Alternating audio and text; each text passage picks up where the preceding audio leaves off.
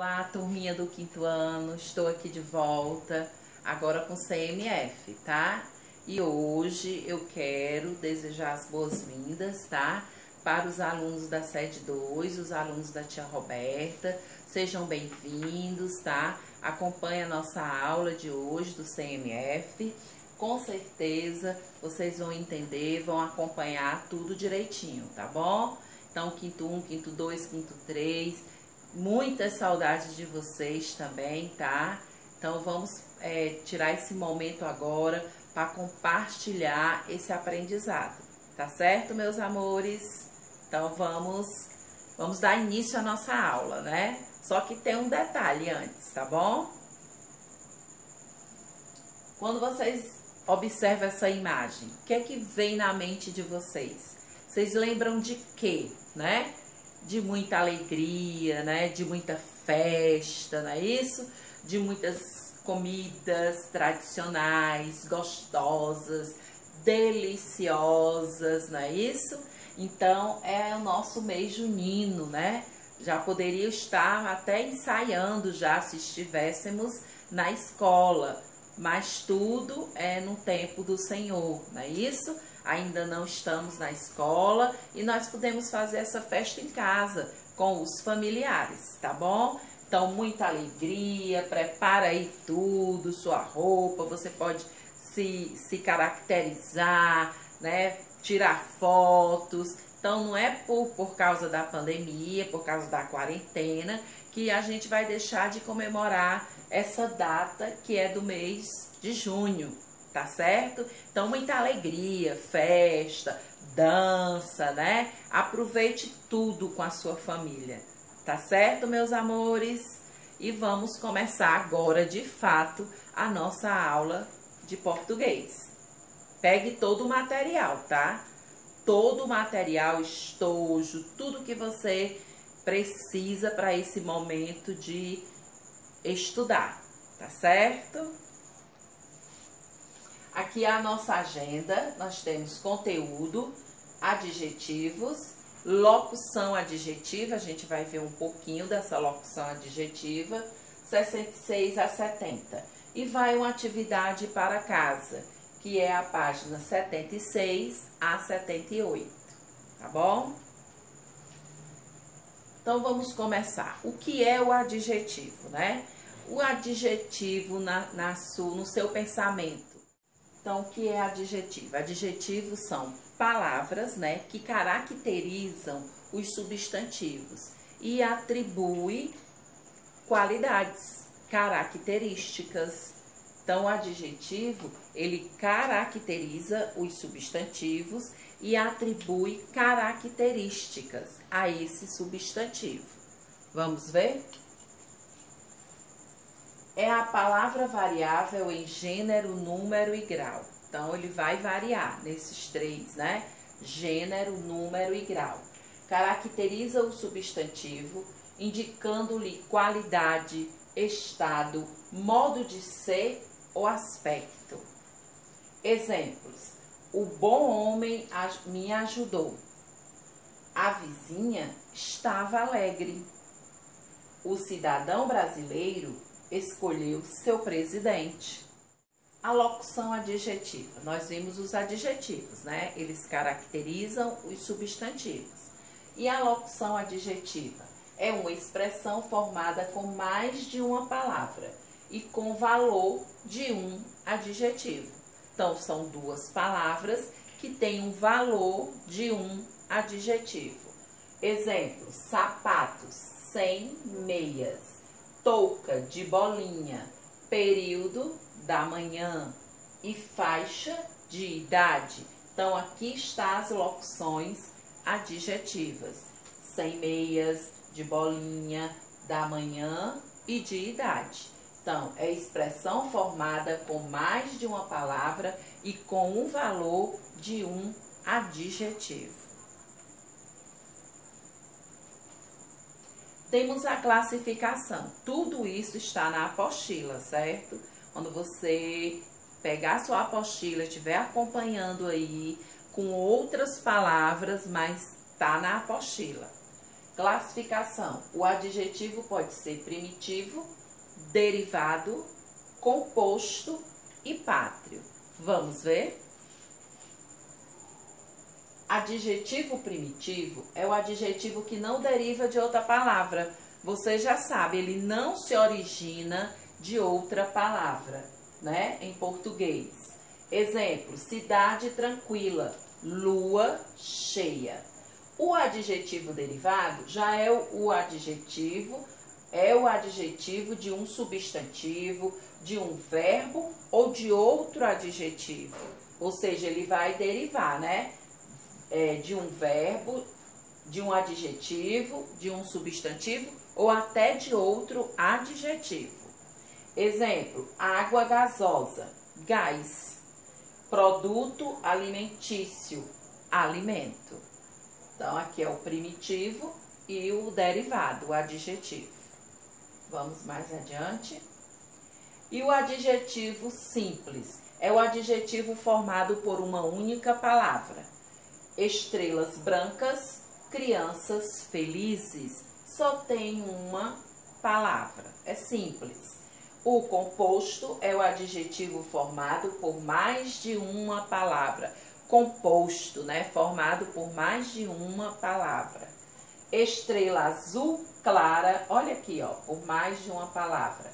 E operário, surdo, mudo. Surdo, mudo, composto. E o adjetivo pátrio ou gentílico? é o adjetivo que se refere à nacionalidade, à origem, local de origem, certo? Na maioria dos casos é derivado do substantivo que dá o nome do lugar. Na maioria, o nome do lugar, então vai dar origem a esse adjetivo pátrio. Escritor espanhol, Espanha. Cantor cearense, Ceará. Não é fácil esse conteúdo, né? Um conteúdo simples, bom de estudar, não é tão complicado não, certo? É questão de ler, prestar atenção na hora dos exercícios. Na apostila de vocês, na página 66, começa o, conteúdo. Adjetivos. Tem uma, uma, um quadrinho, tá? História em quadrinho, vocês espero que leiam, tá? E aí tem alguns adjetivos: educado, magro, rico, civilizado, inteligente, carinhoso. Tudo é, são exemplos de adjetivos. Aí vem locução adjetiva, mostra uma imagem de Fortaleza, a terra da hospitalidade, né? Da hospitalidade caracteriza o substantivo terra e recebe o nome de locução adjetiva da hospitalidade. E aí vem algumas locuções aí para você estudar, tá? Marque aí até a página 68, vem algumas locuções adjetivas, vem a classificação. Na página 69 tem a colocação do adjetivo. Quer dizer o quê? Que com essa colocação ele pode vir antes ou depois, vai depender como está na frase, é o sentido desse adjetivo, certo? como ele vem colocado dentro do contexto. Então, observe: os, os passantes ajudaram a pobre criança. Os passantes ajudaram a criança pobre. Então, esse adjetivo pobre, ele tem significados diferentes. É o sentido, a colocação. Um vem primeiro, o outro vem depois. Na primeira, o adjetivo pobre, né, colocado antes do substantivo criança, expressa piedade, compaixão. Já na segunda frase, o pobre aí, né, vem depois do substantivo criança, significa miserável, sem dinheiro. Então, Cristina, outro exemplo. Cristina é uma grande professora, excelente professora. Cristina é uma professora grande, aí já é o tamanho alta. Então, nessa partezinha aqui é só para mostrar a colocação do adjetivo nas frases. Pode vir antes, pode vir depois, mas tem que observar o sentido dela dentro do texto, certo? Pois muito bem, meus amores. Agora vocês vão pausar o vídeo, vão fazer as atividades e a gente volta já já com a correção. Confio em vocês, hein? Continuem fazendo tudo direitinho, estudando, estude com carinho. o que eu expliquei aqui, você tem que ler, ver de novo, tá bom? Até já, meus amores. Olá, meus amores. Estamos aqui agora para fazer a nossa correção. Já está toda aqui, mas aí nós vamos tirando dúvidas, né? Cada questão, tá certo? Então vamos começar. Na apostila, na 63, tem uma um texto, tá? Que é A Velha e Suas Criadas. Leram esse texto? Viram que tem uma moral, né? Geralmente são textos que os personagens são animais, tá? E que vem uma moral, vem um, ensinamento. Então, tá aqui a resposta. Primeira questão, item E. 2. O plano das duas empregadas deu certo? Não, porque elas passaram a acordar mais cedo. Então, no texto diz né, que elas acordavam cedo. 3. As empregadas da viúva trabalhavam, trabalhavam e trabalhavam. Com qual intenção o autor do texto repetiu o verbo? Para intensificar a ação de trabalhar, né? dar aquela intensidade no verbo trabalhar. Quarta, e punha as duas para trabalhar no meio da noite. O trecho em destaque, no meio da noite, indica o que? Indica tempo. E a quinta, em uma, viúva, em uma viúva econômica e zelosa tinha duas empregadas. Analisando a frase, podemos afirmar que há quantos substantivos, né? Dois substantivos. Vamos só corrigir aqui, meus amores, que aqui não tem i, tá? É o u substantivos, tá bom? S-U. Corrijam aí, por favor. Muito obrigada. E a sexta questão é para analisar o grau do substantivo, se ele é aumentativo, diminutivo, ou sintético ou analítico. E relembrando um pouquinho, né? Quando ele é sintético, é porque acrescenta o sufixo aumentativo ou diminutivo.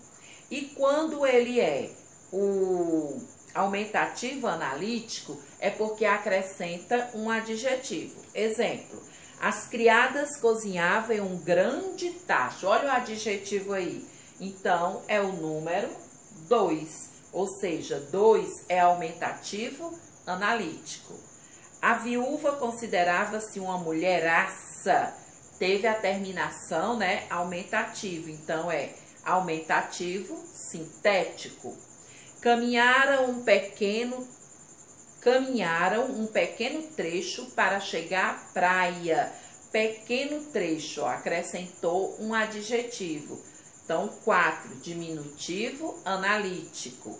Colocou uma jaqueta, pegou uma bolsinha e saiu. Bolsinha, né? O tamanho pequeno. Então, é o 3, diminutivo sintético. Por que diminutivo sintético? Ó, colocou uma jaqueta, porque acrescentou a terminação diminutivo, né? Bolsinha, inha. Certo? Vamos para a próxima página. Página 64, nós temos a sétima questão, onde nós vamos trabalhar com os sinônimos, significados iguais, parecidos, né?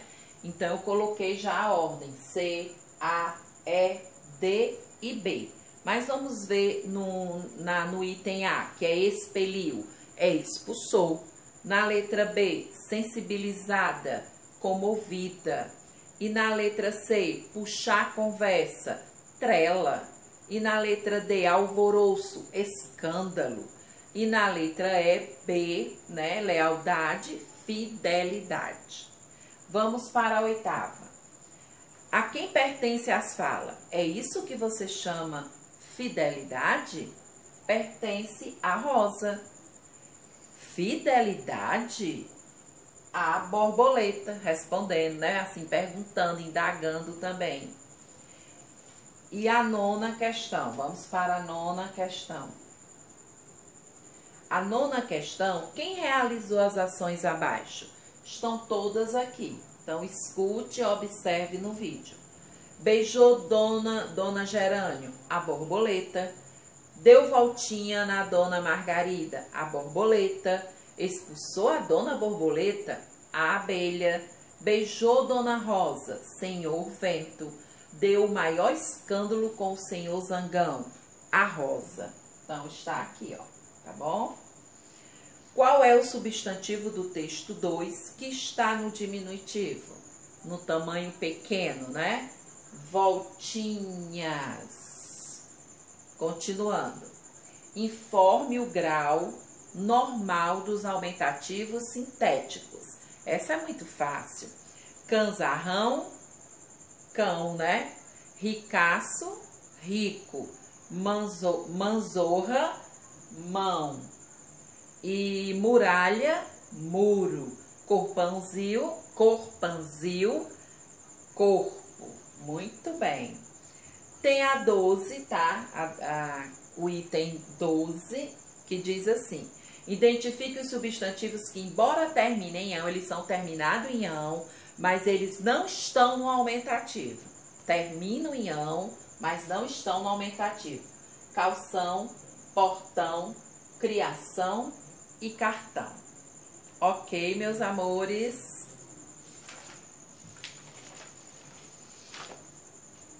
Pronto, agora vamos para a página 69. Na 69 é com adjetivos, locução adjetiva, tá? Então vamos começar. Tem uma história em quadrinho também, né? Ele pede que você identifique os adjetivos e classifique-os. Então vamos lá?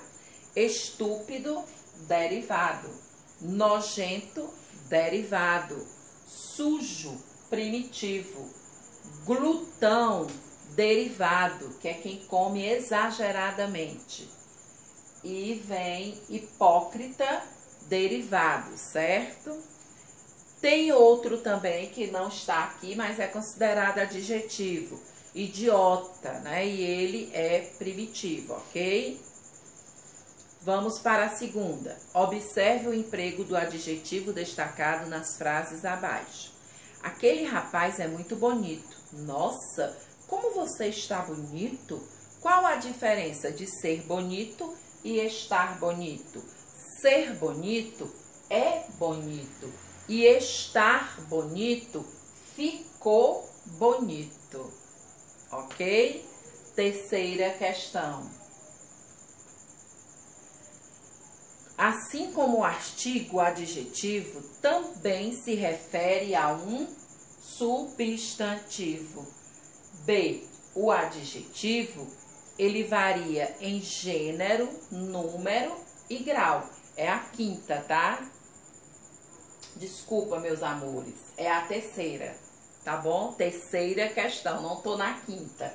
Terceira questão, vou repetir. Complete. Assim como o artigo adjetivo, o adjetivo também se refere a um substantivo. Assim como o artigo, o adjetivo se refere a um substantivo. E ele varia em gênero, número e grau. Vamos para a quarta. Informe se os adjetivos destacados indicam qualidade, estado ou lugar de origem. Na letra A, cearense, lugar de origem. Junina, qualidade. B, distraída e vazias. Distraída, né? Distraída, é um estado como está, né? Distra... Vazias, qualidade. Item C, o carro antigo foi para exposição. Antigo, qualidade. Item D, o computador japonês surpreendeu a todos. Lugar de origem. Quinta, identifique se as palavras em destaque estão funcionando como substantivo ou como adjetivo. Adorei aquele doce de leite. Doce, substantivo. Vamos para outra página. Página 70. Este suco está muito doce. Adjetivo. Aquele jovem, aquela jovem bonita é minha mãe. Substantivo. Minha avó é uma jovem senhora. Adjetivo. Sexta. A posição do adjetivo às vezes resulta em diferenças de sentido. Informe o sentido dos adjetivos em destaque. Letra A. Conversei com um velho amigo na fila do banco. Antigo, né? Ó, antigo, tá bom? Idoso. O primeiro é, é antigo, não é artigo, tá, meus amores? Desculpa que a tia, ó, não é artigo, é antigo. É uma coisa antiga, tá bom? Conversei com um velho amigo. Antigo, tira o R, coloca N. Conversei com um amigo velho na fila do banco, um idoso. Paulo é um simples homem, qualquer. Paulo é um homem simples, sem luxo. Aloísio é um alto funcionário, excelente funcionário. Aloísio é um funcionário alto, altura. Vamos para a sétima. Observe. A menina então lembrou da sua bola de ouro, da sua boneca de açúcar, do seu berço de ferro, de suas manhãs de sonho. Ruth Rocha. O que é que essa última questão pede? Identifique as locuções adjetivas e reescreva o texto. Você tem que escrever o texto, tá bom? Substituindo-as pelos adjetivos correspondentes. Copia só as locuções adjetivas, que no caso de ouro, de açúcar, de ferro, de sonho. E coloca ao lado os seus, seus adjetivos correspondentes. Então, de ouro, áureo de açúcar, açucarina, tá aqui. É, de ferro, férrea. De sonho, sonhadores. Deu para entender, meus amores, a correção? Tá tudo ok? Muito bem. Pois agora nós vamos ficar, né, com mais uma, essa aula. Estudem, tá? Não se preocupe que quando a gente estiver de volta, eu vou fazer uma revisão, tá? Se for possível, a gente faz uma revisão, vai estar sempre fazendo exercícios para que a gente reveja todo esse assunto, tá? Ok? Uma atividade diagnóstica, né? Para a gente treinar, tá certo? Mas não deixe de dar uma lida, de estudar, tá bom, meus amores? Olhem o vídeo de novo, corrijam Preste atenção aqui, tá? Que eu pedi para vocês corrigirem. É antigo, não é artigo. É um N, antigo, tá bom? Então fiquem com Deus, até a nossa próxima aula. Amo vocês, estou com muitas saudades. Que Deus proteja todos, toda a família. Até a nossa próxima aula, viu, meus amores? Tchau. Beijos.